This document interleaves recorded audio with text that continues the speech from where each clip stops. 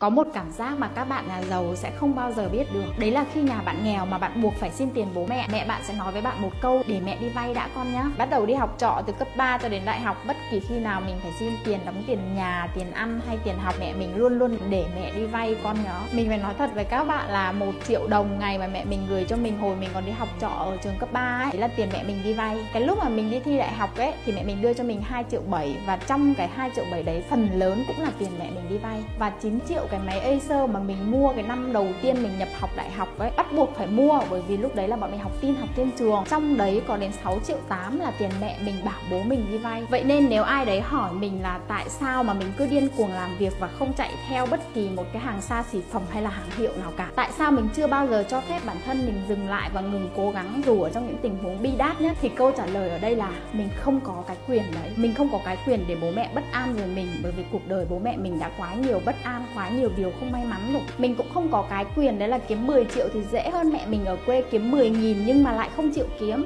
đúng không? Càng không có cái quyền lười biếng ỉ lại, ngại học, ngại làm. Bởi vì để mình đi học được và có ngày hôm nay là bố mình còng lưng lao động á, là mẹ mình bốn rưỡi sáng phải dậy đi ra chợ để tranh chỗ bán hàng. Nghĩa là để mình có tiền ăn, tiền học bằng bạn, bằng bè thì, kiểu, bố mẹ mình phải trả giá bằng rất nhiều thứ. Vỡ nợ xong lại trả nợ xong cày gấp 3 gấp 4 lần người khác ấy. Để mình yên tâm và không vướng bận là mẹ mình, kiểu, ốm xong rồi ho lụ cụ cả tuần nhưng mà vẫn chỉ dám nói dối trong điện thoại là mẹ bị sặc nước đấy. Là con nhà nghèo bạn có thể thiếu rất nhiều những đặc quyền, nhưng bạn có một một cái quyền, đấy là luôn luôn có đủ động lực ở trong tim nhất là khi bạn nhìn vào mắt ba mẹ bạn.